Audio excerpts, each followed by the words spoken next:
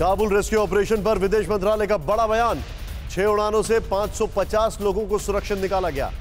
भारत ने अफगान हिंदू सिखों को भी काबुल से निकाला है।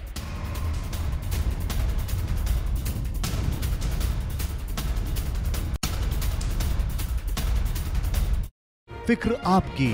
सोमवार से शुक्रवार, रात 9 बजे, सिर्फ़ टीवी 9 भारत वर्ष पर।